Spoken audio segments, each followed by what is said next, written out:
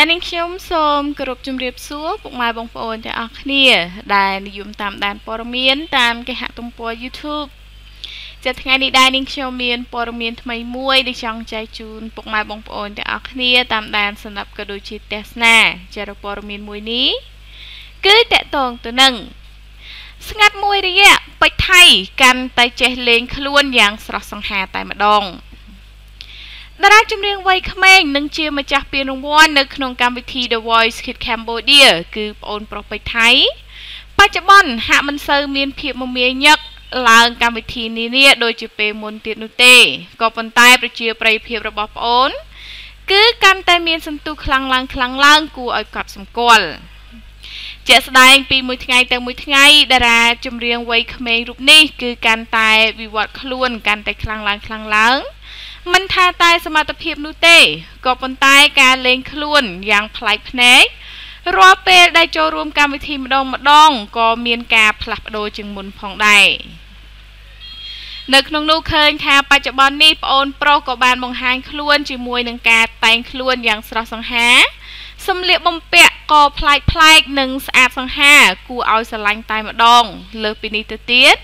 តារាវ័យក្មេងរូបនេះក៏បានធ្វើការបដូរនៅម៉ូតសក់ថ្មីយ៉ាងប្លែកភ្នែកខុសពីសពមួយដងតែម្ដង ស្របពេលដែលកាន់តែឡើងកោតនៅក្នុងសិល្បៈនេះទន្ទឹមនឹងនេះដែរបណ្ដាអ្នកគ្រប់គ្រងជាច្រើនក៏បានធ្វើការសរសើរដល់ប្អូនប្រុសគ្រប់គ្រប់គ្នា ដែលនៅក្មេងប៉ុណ្ណឹងសោះតែគឺមានការផ្លាស់ប្ដូរការតែងខ្លួនមើលទៅកាន់តែប្លែកជាងមុនមិនដដែលដដែលនោះទេ ចាពុកម៉ែបងប្អូនទាំងអស់គ្នាចាសម្រាប់ព័ត៌មានទី1នេះគឺតកតងទៅនឹងម្ចាស់ពាននៅក្នុងកម្មវិធី The Voice Kids Cambodia គឺប្អូនប្រុសពេជ្រថៃយើងឃើញថាចាប់ពេលនេះដែរគឺចាប់ប្អូនប្រុសពេជ្រថៃមិនសូវបង្ហាញមុខតាមចាប់បណ្ដាកម្មវិធីផ្សេងផ្សេងដូចជាពេលមុនឡើយក៏ប៉ុន្តែគឺចាប់ពេលដែលលេចមុខ យូរយូរម្ដង គឺចាប់អូនប្រុសពេជ្រថៃគឺពិតជាមានការតុបតែងខ្លួនស្រស់សង្ហានិងតាក់ទាញយ៉ាងខ្លាំងតែម្ដង ចាទាំងសម្លៀកបំពាក់និងការចាធ្វើម៉ូតសក់គឺពិតជាស្រស់ស្អាតនិងស័ក្តិសមជាមួយប្អូនមែនតែនចាហើយសម្រាប់ព័ត៌មានខ្លីនេះក៏បានដល់ទីបញ្ចប់ហើយចានេះខ្ញុំសូមបង្វែររំពុកម៉ែបងប្អូនទាំងអស់គ្នាទៅតាមដានទស្សនាព័ត៌មានទី2វិញម្ដង ចាសសូមស្វាគមន៍មកកាន់ព័ត៌មានទី2ជាបន្តទៀតចាសសម្រាប់ព័ត៌មានទី2នេះវិញគឺតកតងទៅនឹងអ្នកនាងសឹមសូលីកាលេងមួយក្បាច់នេះបញ្ឈឺចិត្តសង្សារចាស់អ្នកមេម៉ាយសឹមសូលីកាដែលមុននេះលេងបិទពួនធ្វើជាស្ត្រីពពោះមិនឲ្យចាញ់ប្រពន្ធថ្មីរបស់អតីតសង្សារនោះគឺកញ្ញានៅសូនីតានោះ បានធ្វើឲ្យលោកទឹកថៅរិទ្ធដែលជាអតីតសង្សាររបស់អ្នកនាងកាន់តែវិលក្បងដោយសារតែអ្នកនាងសឹមសូលីកាកាន់តែបង្ហាញភាពអែមល្ហែមជាមួយនឹងគូស្នេហ៍ថ្មី គឺលោកអេងរិទ្ធី ហើយថ្មីថ្មីនេះគឺបានបញ្ចេញរថយន្តទំនើបរហូតទៅដល់4គ្រឿងដើម្បីឲ្យសង្សារចាស់ភ្លឺភ្នែកទៀតផង។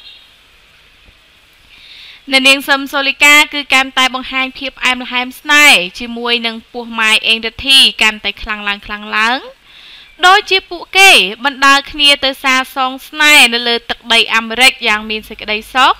ហើយក៏ទិញអីវ៉ាន់សុទ្ធតែជារបស់ម៉ាកល្បីល្បីចានេះមិនមែនជារឿងចៃដន្យឡើយដែលអ្នកនាងសឹមសូលីកា បានបញ្ចេញភាពល្អោកល្អឿនស្នេហ៍កាន់តែខ្លាំងឡើងខ្លាំងឡើងពីមួយថ្ងៃទៅមួយថ្ងៃនេះ ក៏ព្រោះតាមពិតគឺត្រូវបានមហាជនទូទៅចាត់ទុកថាជាចេតនារបស់អ្នកនាងសឹមសូលីកា គឺចង់បញ្ឈឺចិត្តអតីតគូស្នេហ៍គឺលោកទឹកថៅរិទ្ធដែលចិត្តបានកូនង៉ែត3ប្រឡែងជាមួយនឹងប្រពន្ធថ្មី គឺកញ្ញានៅសូនីតា ដែលត្រូវសម្រាលកូននៅខែក្រោយនេះហើយ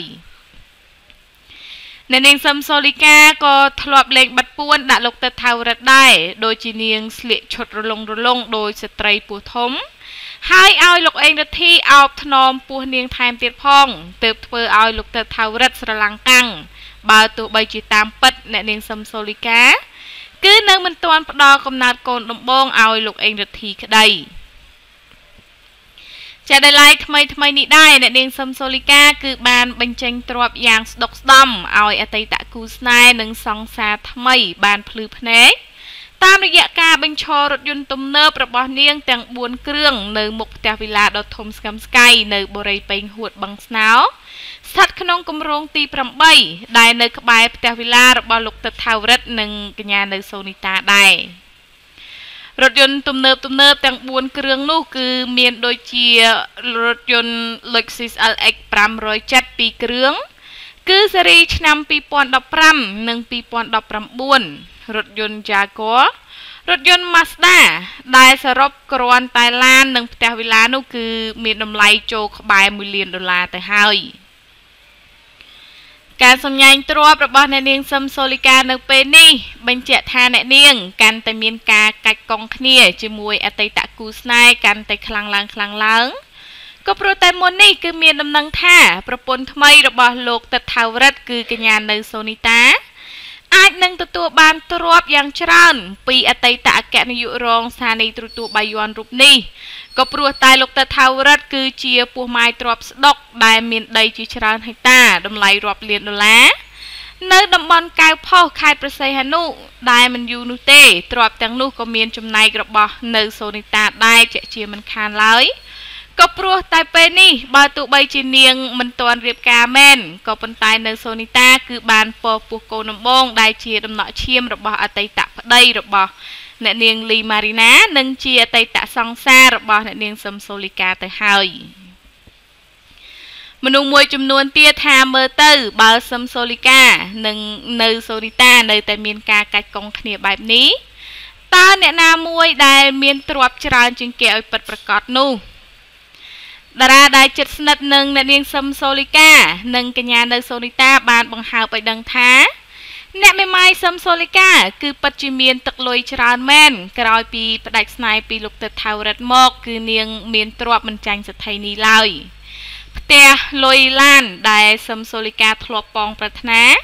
ពេលនេះគឺបានคล้ายជាកម្មសិទ្ធិរបស់នាងដោយចិត្តមែនគឺចូលក្បែរលានដុល្លារឯណោះ ចេតឡែកនៅសូនីតាថ្មីត្បិតតែពោពោះភ្លាម បានតំណែងជំទាវផ្លែតមែនក៏ប៉ុន្តែមិនទាន់ប្រកាសទេ ថាតើទ្របរាប់លានដុល្លាររបស់លោកទឹកថាវរិទ្ធនោះនឹងคล้ายជាកម្មសិទ្ធិរបស់នាងទាំងស្រុងនៅពេលណាឡើយខណៈដែលពេលនេះនៅសូនីតា គឺមិនទាន់រៀបការហើយនាងក៏មិនធ្លាប់អះអាងថាបានចុះអត្តាស៊ីវិលនៅឡើយ។ ប្រពន្ធនោះបន្ថែមថាដោយសារតែសង្សាររបស់នៅសូនីតា គឺលោកតថាវរិទ្ធធ្លាប់ប្រេះឆាស្នេហ៍ជាមួយនឹងនារីជាច្រើនអ្នកមកហើយហេតុនេះហើយការរក្សាចំណងស្នេហ៍របស់នៅសូនីតាឲ្យបានថិតថេរគឺជារឿងចានៅមានភាពស្រពេចស្រពិលនៅឡើយដរាបណាដែលនាងនៅមិនទាន់អើពើដឹកដៃគូស្នេហ៍ក្រាបផ្ទឹមនោះ។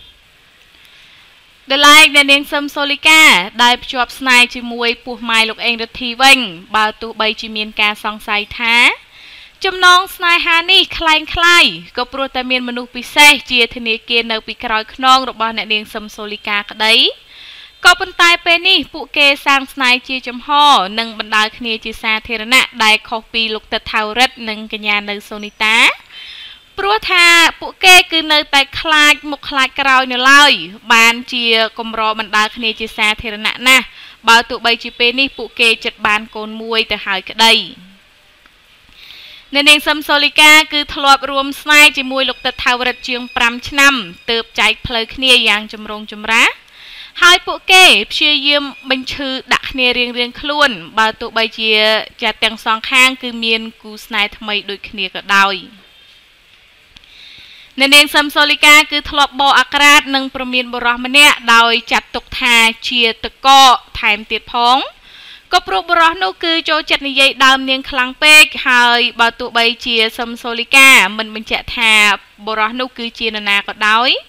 ក៏ប៉ុន្តែគេសន្និដ្ឋានថាគ្មាននរណាក្រៅពីលោកទឹកថៅរិទ្ធនោះទេយ៉ាងណាទស្សនិកជនរងចាំមើលថាគូស្នេហ៍របស់សឹមសូលីកានិងលោកអេងរទ្ធី និងគូស្នេហ៍របស់លោកតថាវរិទ្ធនិងកញ្ញានៅសូនីតាដែលកំពុងតែដៀមដាមគ្នាយ៉ាងខ្លាំងនេះតើមួយណានឹងចូលរោងការមុនចាពុកម៉ែបងប្អូនទាំងអស់គ្នាចាសម្រាប់ព័ត៌មានទី2នេះវិញគឺតកតងទៅនឹងអ្នកនាងសឹមសូលីកាចាពេលនេះឃើញថាអ្នកនាងបានចាបញ្ចេញទ្រព្យយ៉ាងច្រើនតែម្ដង ដែលធ្វើឲ្យមហាជនក៏ដូចជាអ្នកនៅក្នុងចង្កោមសិល្បៈមានការភ្ញាក់ផ្អើលយ៉ាងខ្លាំងតែម្ដង ដោយសារតែចា នៅនាងសឹមសូលីកាគឺមានទ្រព្យកើនឡើងយ៉ាងឆាប់រហ័សដោយផ្នែកបន្ទោលចាហើយពេលនេះដែរគឺនាងកំពុងតែរស់នៅក្នុងផ្ទះវិឡាដ៏ធំស្កឹមស្កៃចាមានឡានទំនើបទំនើបជិះរហូតទៅដល់4គ្រឿងតែម្ដង ចាអ្វីដែលជាពិសេសនោះគឺចារបស់របរដែលនាងប្រើប្រាស់គឺសិតសឹងតែជាចារបស់ម៉ាកទំនើបទំនើបលំដាប់ពិភពលោកតែម្ដង ចាហើយសម្រាប់ព័ត៌មាននេះក៏បានដល់ទីបញ្ចប់ហើយចានេះខ្ញុំសូមអរគុណពុកម៉ែបងប្អូនទាំងអស់គ្នាដែលបានតាមដានទស្សនាព័ត៌មានទាំងអស់ដែលចេញពី Channel របស់នាងខ្ញុំចាហើយនាងខ្ញុំក៏សូមអរគុណសម្រាប់ការចុច Subscribe មកកាន់ Channel របស់នាងខ្ញុំផងដែរចាហើយសម្រាប់ពេលនេះដែរនាងខ្ញុំចាសូមអរគុណនិងសូមជម្រាបលា